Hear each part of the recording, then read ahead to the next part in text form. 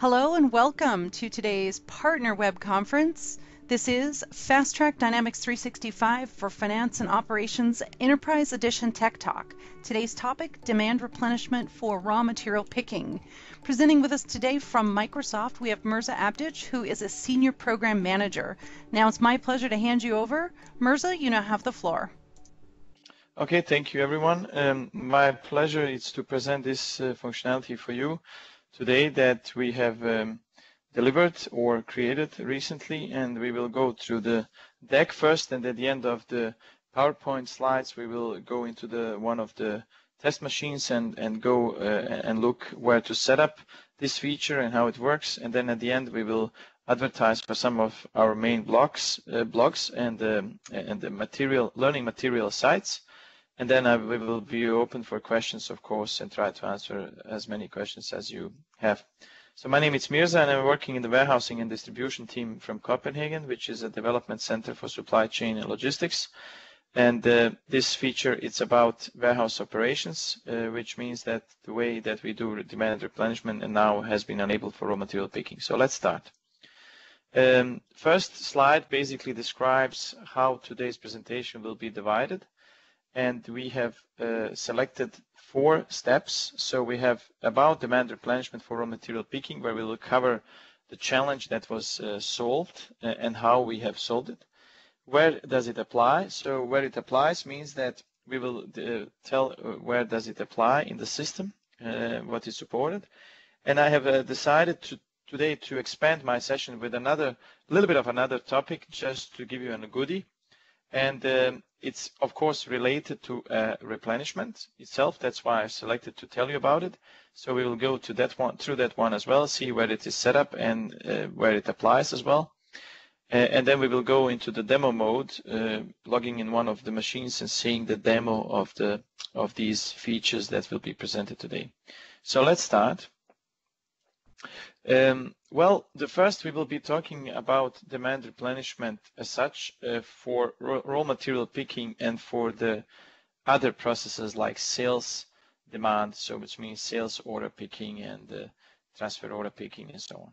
So the outbound logistics where we have picking procedure uh, will sometimes require materials to be replenished into the picking locations in order to be picked and delivered to a customer or to another warehouse facility if we are talking about transfer orders uh, and such. So we have two types of replenishment into system, as you probably know today, which is a, we have basically three, but two main are uh, mean and max replenishment and demand replenishment.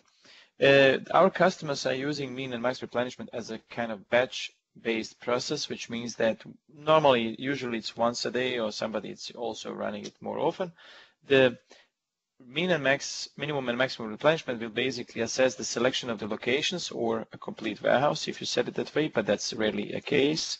And then look at the location level, what material levels are there and what needs to be replenished.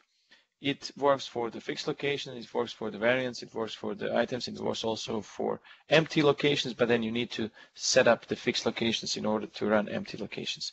That's the part that we call mean and max replenishment. So it's basically, we should talk about use case, it could be in the morning when we are in the supermarket, when the shelves are replenished before supermarket opens. Normally it's based on such a replenishment, basically making sure that shelves are ready uh, with, the, with the items needed throughout the day as much as possible so people can pick, pick the items and buy them. So each of the items will be replenished on its location to the certain level of quantity uh, that is run by the Minimax. However, this topic that we're covering today, it's not about Minimax replenishment, it is about demand replenishment. And I would like to emphasize that demand replenishment is an exception and it occurs when demand cannot create work for picking on the range of the locations that has been set up in the workflow of the warehouse through the location directives, where we usually set up where to look at, where we want to pick. If that fails, at the end of the wave, there will be a method called, we will see that in the demo, called demand replenishment. And that method, when everything fails to allocate through the location directives, all of the steps, lines, and actions we have set up, like look first in this aisle if it, if it cannot find the item, look in the second aisle, and so on, so on. Uh, then, if the replenishment method has been added to the wave, then it will say, okay, now the last, uh, last, last thing we can do is to try to replenish this location, and then unfreeze the demand, uh, basically to to be able to be picked. Uh, however, this demand replenishment, uh, when I say it is an exception, uh, we have seen the customers are setting this more like a rule than exception, and that's wrong in our minds because um, if you have a lots of demand replenishment going on throughout the day, that takes time because every time demand replenishment is created, it is basically requiring a physical movement of items from an location X to a location Y, uh, which is uh, a place where we are picking from. That is time consumption, and we know that everything in the warehouse that has with the consumption of time equals consumption of money. Uh, and, and, that means that we are kind of costing the system unnecessary. So we need to minimize amounts of the demand replenishment, if possible, through the bigger sizes of the locations, maybe having a more than one fixed location, and so on, and so on, or replenishing with a bigger unit of measures like uh, pallets, uh, and so on. But uh, we cannot avoid in the many circumstances to run the demand replenishment. That could be that we have deviations in demand. Suddenly one day we have advertised for something and then we receive more orders than usually. Of course, we don't have time to change our physical layout, so we might be solving these exceptions through the demand replenishment flow. The demand replenishment was able to be on outbound uh, documents, so transfer orders, and we had uh, sales orders, but we did not have it for the raw material picking. And as described here in the challenge uh, part of the chapter, uh, a wave template could not be constructed for raw material picking, and demand replenishment method could not be added for production orders in Kanbans. This lack of functionality resulted in uh, basically quite manual uh, solution uh, for the materials that cannot be picked from the dedicated from the location that you have set up through the location directives, which means a workflow for picking. So they will simply fail.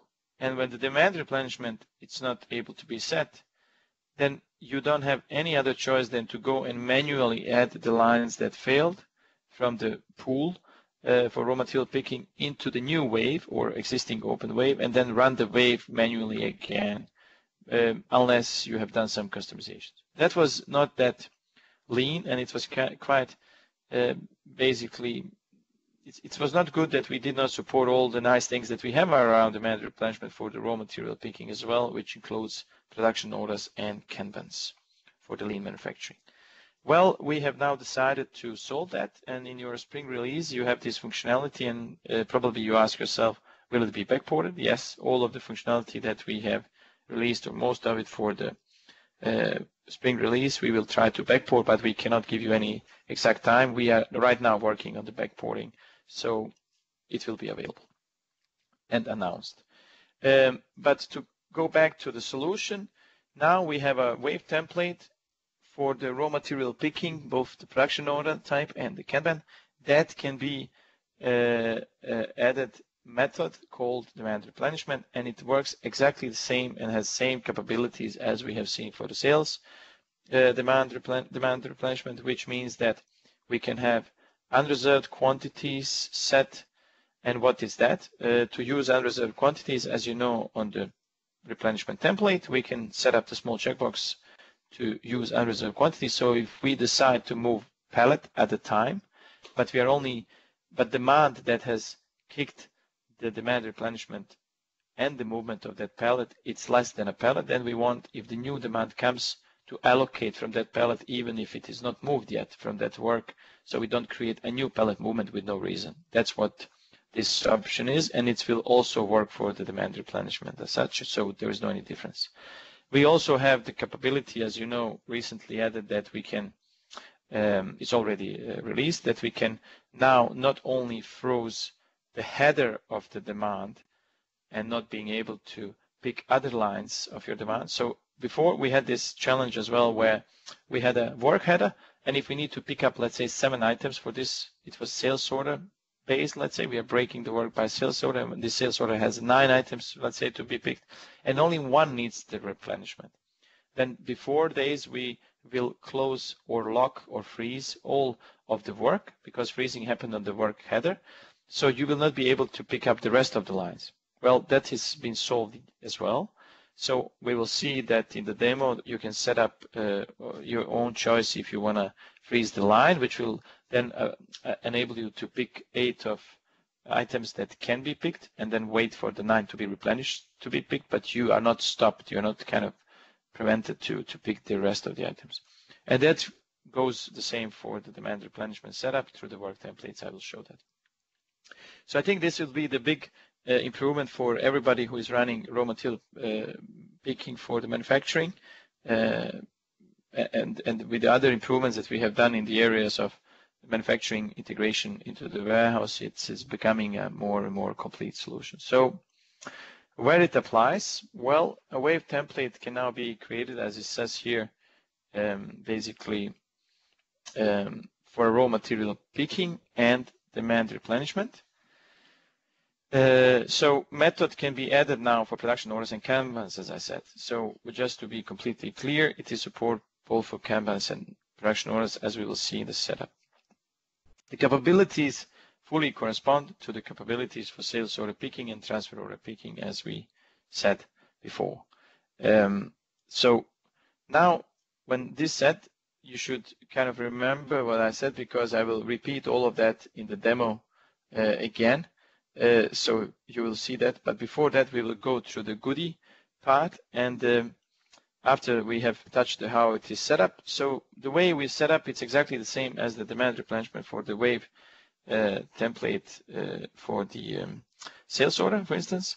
So we will just add a method uh, for replenishment, and then we will uh, use it as exactly as we do for the sales order relating to the location directives and work templates and then being able to move items from a replenishment locations to a picking locations. Um, uh, now we are going into the today's extra goodie and it is closely related. It has just been basically developed and it KB article it's already issued uh, so it is backported for R3 as well where we have done a feature called immediate replenishment. Now you probably ask yourself what is immediate replenishment. Well, it is respecting restrict by unit uh, among some other things. And so as it says, it is uh, it will be a part of the default release 7.3 full release, and also it has been released as a hotfix and a KB for 2012 R3. Now, what is immediate replenishment? As the system was designed, when we had uh, demand, it will, let's say we are, uh, we need to um, pick 150. On the sales order line, it says pick 150. We are picking one pallet and we are picking 50 from uh, each area. And if we assume that uh, maybe better better example will be if we say we are picking 150, 100 it's a box and 50 it's 50 eaches. So box needs to be picked from the box area and the eaches are picked from the manual each area. And if you imagine that these boxes are basically handled by the mini loader. Let's just say it's automatic warehousing system, which will fetch the box in a very quick way and a, a number of boxes that we calculate, and then the rest will be picked from the each area manually by the warehouse employees. Now we invest in equipment for a reason, uh, and if you imagine how the location directives have been set before, we didn't, we, we were not able to do this because what we will do normally, we will set up the location directives saying please first restrict by unit a box. So there will be a separate line or a path that goes to the box area, which in our case will be in the mini loader. And then it will say the next line will be handling eaches, so you go to the each area for the rest of the quantity. So if we have this example 150, that's a one box and let's say eaches, what will happen is that system will say, okay, by the unit of measure in the system, I can calculate that this is the one box and 50 each. Through my location directives, the workflow, it will say, well, I need to pass my box to this area and pick up from there, which is a mini loader, and then 50 just from it. So let's assume that there is nothing in the mini loader, or it could also be a manual area, doesn't matter, where we have some equipment and people hired to pick up the boxes. And if the, we are missing some boxes because we need to replenish with a new pallet there. What system will do if it fails to allocate boxes from the box area, as it was before, it will pass that quantity just to the next line, when in our case will be each path, so the line that is leading to the path of each and showing us where the locations are where we pick eaches. But now picking from eaches will not anymore be a 50, but 150. It will try to allocate 150. And now you can imagine if you have had the need of 10 boxes, that could potentially be 1,000. And if it fails, it will just pass that quantity to the line level where the eaches are to be picked. And somebody will suddenly be asked to pick 1,050 eaches, which will cause a trouble in the each uh, piece picking area. So to avoid that, we want to respect this restrict by unit and fix it through the location directives. And why? You ask yourself, why did system uh, allocate first at the end because in the wave, as you remember, the method it's one that is basically at the end of the wave processing almost, which means that when it starts through the location director saying try to pick boxes from box area, oh, there is no any, it will then continue to the trying of the lines, which will be eaches. And if it fails to figure out that there is no 1050 eaches in the piece picking area, which will be normally true, then it will generate first there, it will generate a replenishment. But now replenishment will not end into your um, um, the box area. It will end with a big probability into your each area. So now you are bringing a large amount of goods to the each area being replenished there because you have this demand of 100,050 that was transferred to the each area and waits to be replenished. That, that was at some customer facilities causing big problems. And of course, when we have this nice restrict by unit and unit measure calculation transitions and whatnot, we also want to respect that with the replenishment. So we decided to fix that, and we did something we call immediate replenishment. So it will allow you to replenish inventory right after allocation directive line fails. So in my example, when the box allocation allocation of boxes fails, instead of if set, instead of going with the quantities to the lower lines, it will just say, no, I replenish this immediately. And then you can have a your own separate replenishment set to replenish that area. And the rest of eaches, in our case 50, will be continue to be continue to be picked from the each area. So basically, we are making sure that yes, I want boxes to be picked in the box packaging material from the box area, and I have now a possibility to do replenishment of that. And each is exactly the same. It could be some other reason why you want to connect a, one, a single replenishment template to one of the lines. So we have broad replenishment from the bottom of the wave into the lines level in the location directive. It is, it is a very good feature. So now, where does it apply? Immediate replenishment is used during wave execution if allocation fails for a location directive line that has a replenishment template set. We will set we will see what it's that set in the system. How it is set up we will see that we, when we open location directive on the line, now we have a new field. It's the drop-down menu where you can basically select from your existing uh, replenishment templates that are set, and then that one will be used if uh, for some reason units cannot be allocated. In our example was boxes. And now you're probably asking yourself, what if I have set immediate replenishment, I select the replenishment template, everything fine, it fails, it should have used that replenishment template, it tries, but my setup of replenishment was wrong because, you know, you need to set up location directives for replenishment and so on. So let's say that setup was incomplete, so it's wrong. What will happen, right? It's a very good question. That will be an exception to be handled, but what will happen?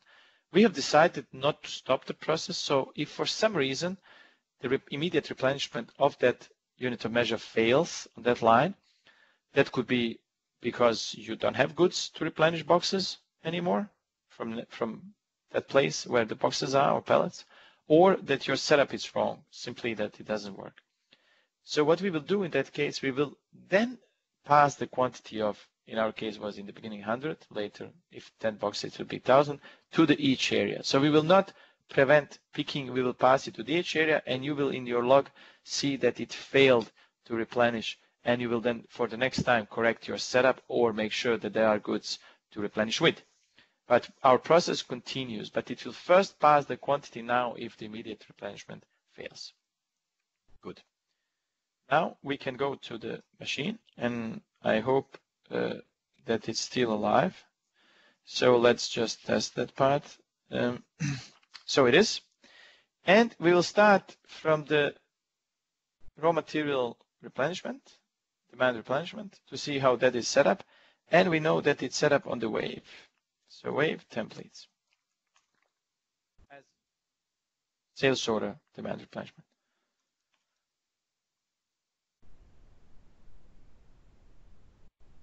So here we have a um, wave template and if we edit the wave template now and we add a new one called raw material replenishment, oh sorry, and we do exactly the same here. And I do that for site 2 and warehouse 24. Oh, 24. And in my methods, I do, uh, I could say usually this is the old stuff if I want to process it automatically or not and so on. But under the method, that's the interesting part. So um, now you see I'm creating for the shipping, even that I'm calling it raw material replenishment, and we see that it has containerization replenishment. But what we need to do here, we need to change to the production order and then do exactly the same. So let me just, so now I'm constructing for the type you see here, production orders, right? Wave template type. And it will be for the site 224. And then it's there. And then I will move all of my, uh, so we need first to say once, and then everything is moved, all of my default. But look here, and I do this on purpose. I have made system to not show you method here, and then you will ask yourself, but how can I, it doesn't work. Yes, it does. And you should be this is a tip. If you don't see the methods here, you need to regenerate them. So let's just find the methods. Um,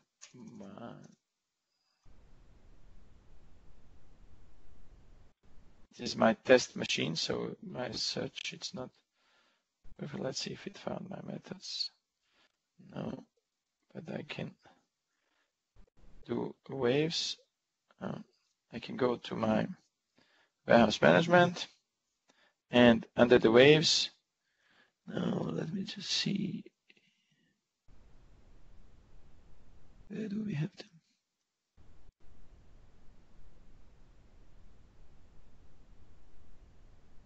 Here, here it is. Wave, it was a correct wave process method.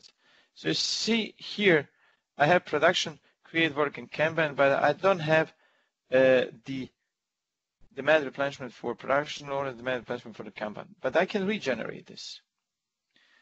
And now I get Kanban replenishment and my production replenishment added. So going back to the waves, wave template,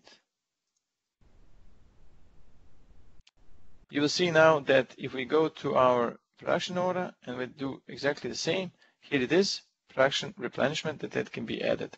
So we added this one, we mark the production replenishment and we add it. And you see it is the, the last one before the work is created. So when we run through all of the allocations that I was explaining the reason why we introduced the goody one, which was the immediate replenishment. So, but now you can see that you can set up exactly the same way for uh, demand replenishment for the production, and it will be exactly the same for uh, Kanban. So we can just prove that one as well. So if we are going to the Kanban, and now you see we have a one created and I can edit this one and I can just add to the Kanban as well my replenishment. So, oh, sorry. So here we go, save. Now, uh, we are going also to see, I mentioned once that you should be aware of that we can now set up uh, work to be frozen when we have demand replenishment on both level of line and level of the header. So where is that done? Let's go to the wave, not template, but the work templates. Because as I said, you want to continue to pick rest of the items, not to stop picking of the items, right? Just because you need one that cannot be picked. So if we select one of the wave templates, like for picking staging, this one.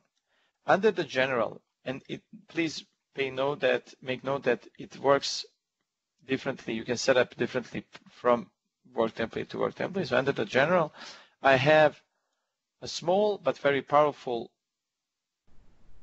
enum here which says block entire work order or block individual work lines.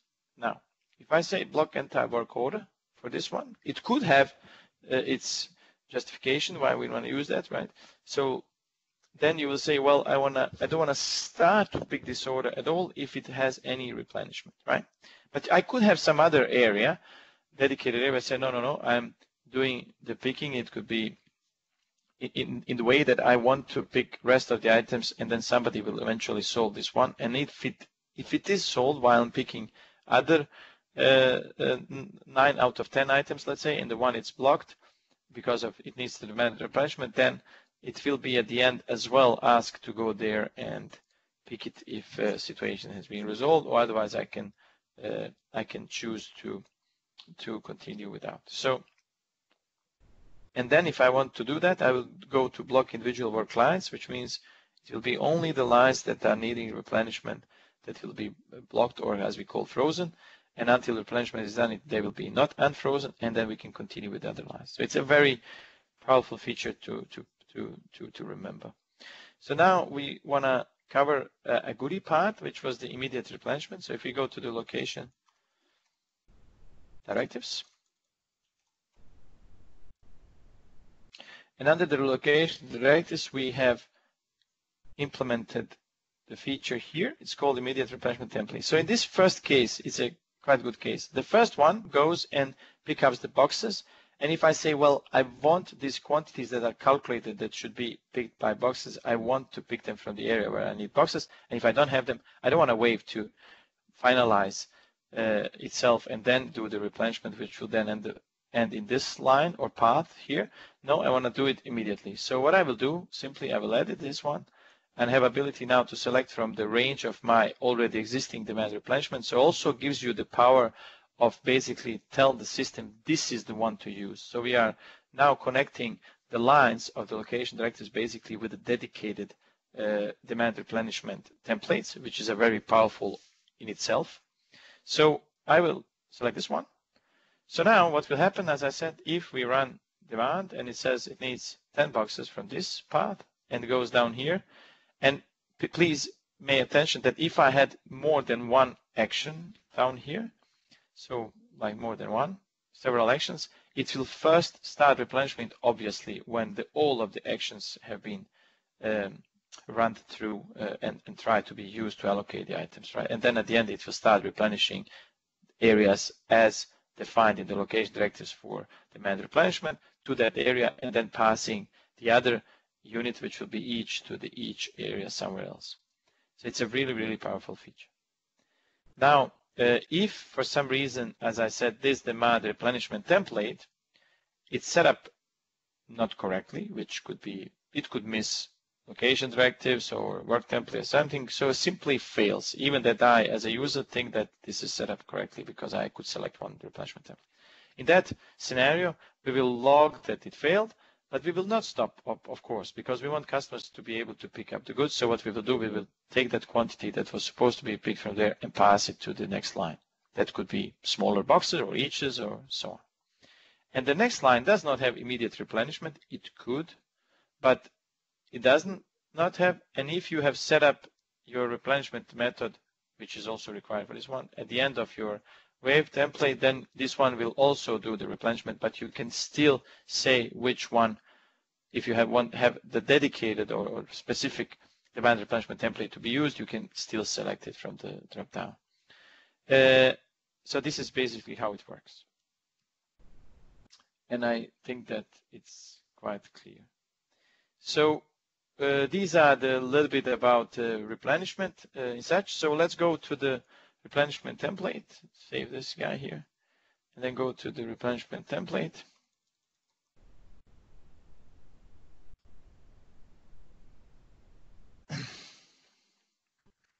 So in the replenishment templates, we have a one demand replenishment template. This is the one that we selected because it was the only one of type wave demand. it, we selected it directly into the immediate replenishment, as you remember. So if I now edit one, what we need to pay attention to is these two checkboxes. The one was the one I was explaining saying, please allow wave demand to use unreserved quantities. So if we have set up this demand to, let's say, replenish in each, in, in pallets. So I need 10 boxes, but I'm, I want to move a pallet. So obviously there might be some boxes that are not reserved on that demand replenishment and are not relating yet to any demand. Any new demand that we release could be attached to that unreserved quantities that maybe not, it's not moved yet. It's just existing work or in process. It works also in open, in process, and of course when it's closed, when the goods arrive from the area. Then you need to check up this box in order to do so. And it will minimize amount of the demand replenishment work lines, of course, and it will also make sure that you are not getting uh, too many goods uh, because you are replenishing by the certain unit into your picking area because you might simply lack space for it. And as you know, we also have a feature, if you should do so and you start piling the stuff in your picking area, we have the feature that we released in our spring release, and it was a part of the fall release last year as well, which was the move of the work with the work, sorry, move of the items with the LPs for the work associated, uh, which means that that will make sure that if I'm bringing the pallet to the picking location, I say, well, there's something there still, but obviously it's a part of some work because that's why I'm bringing the new pallet, for instance, to the location. I can simply, even that that demand work exists on that existing pallet, I can move it wherever I want and my work lines will be updated accordingly, which is also a very powerful feature. So now we have basically covered a lot of things about demand replenishment. So let's recap. We covered that now we have demand replenishment for raw material, which is a Kanban and production orders, uh, which is a very powerful thing for the for the production um, integration into the warehouse. And we also have now covered that we have this immediate replenishment now, which is restricting by unit, respecting restrict by unit, and can now have a dedicated uh, like a connected directly the replenishment template. And we also have been thinking, talking a little bit about these replenishment templates here. And we also have said that in the case of the demand replenishment, that we can basically freeze the, the, the, the work on the header level or the lines for each of the work templates as we, as we wish. So going back to the presentation, let's do so. Um, and we were on this side. Uh, I just want, before I open for question, I just want to tell you that we have three excellent uh, websites that I think everyone should visit uh, frequently. The first one on the top, it's the blog, uh, basically blog MSDN site for our team called Dynamics AX SCM. And here the team is releasing a lots of uh, blogs which we try to be as explain as detailed as possible. We are always starting with the challenge, business challenge, how it is solved, and step by step with the screens procedure, how to set it up and use it. So people are big fans of these blogs, and we will start, oh, sorry, continue to, to write as much as we can. And if you should see that something is missing, do not hesitate to contact us. Uh, then we have a roadmap site, which is official site, where we do update what we have done recently. It's a kind of three-step uh, updating. Uh, you get updates in three steps. First, what team has achieved uh, recently, what team is working on, and what will team be working on in the soon, in, in the future, near future. And it's, it's not only for the warehousing and distribution and, and TMS team, it's also for the rest of the Dynamics 365 for finance operation teams. Uh, so please do so and look what we are going to work on. We are working uh, agile from our backlogs. And if you disagree, then you will go to the uh, last site, which is an idea site launched not that long time ago, where we do uh, basically give ability or possibility to all of the partners and customers to go in and create the, their ideas and suggestions what we need to change. And then other people can vote of each of the suggestions and also the comments can be written. We are monitoring this. Uh, I think all of the teams of Dynamics 365 for, for finance operations have been asked to monitor this and we do that uh, for sure. And it is basically directly impacting. It's one of the sources that we are using to basically prioritize our backlogs, what features to work on next. So it is possibility for you to give your voice directly and steer in what direction uh, and what features we, we will build for you. Um, so do not hesitate to add, please, any ideas you might have, what we need to improve. And I'm sure that you as an expert, uh, expert with experience from field have uh, suggestions. And other people will vote on that. Uh, you will see us answering these as well if we see that there are some workarounds or you can do something else or even that we say that we have already released the feature. So we are commenting as well from the R&D group uh, this. So with this, I would like to uh, open for questions. Great, thanks Mirza. So folks, while you're typing in those questions, I would like to call your attention to the survey link that I posted in the messages window. Your feedback is very valuable to us. It helps us build better events for you in the future. Copy that link and paste it to a new browser, enter your email, and you'll be taken to the survey. There's five questions, and our voting scale is on a scale of one to five, with five being the best score possible. Be sure to click on the Submit button at the bottom to ensure that your feedback has been received. And with that, um, folks, again, go ahead and type your questions in. I do have one here from Christoph. He asks, is immediate repl replenishment based on the demand replenishment? Uh, yes. Excellent. So, so I will just repeat. So the question is, what kind of replenishment it is. As we saw in my demo just before, I had three uh, replenishment templates created. One was of type demand replenishment and two have been of type min and max. Min and max can only be triggered by the batch job, as you know, and that's how it is today. And it will still be like that uh, for now. And immediate replenishment, you could see when I opened my drop-down menu that I had only one choice, and the reason being because there was only one of type demand replenishment. So yes, it's only for the demand replenishment. Great. And that was all the questions that we've gotten so far. You did such an awesome job. Uh, any closing remarks before we conclude today's event? Do you want to give it another couple seconds for more questions?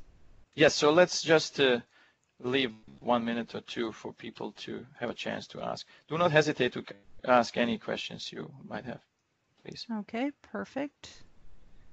So again, folks, now's your chance. Any questions, go ahead and type them there into the conversation, into the, uh, to the white box, and then go ahead and click on send.